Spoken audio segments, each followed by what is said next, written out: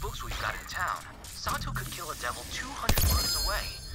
Shame he never made it back to tell the tale.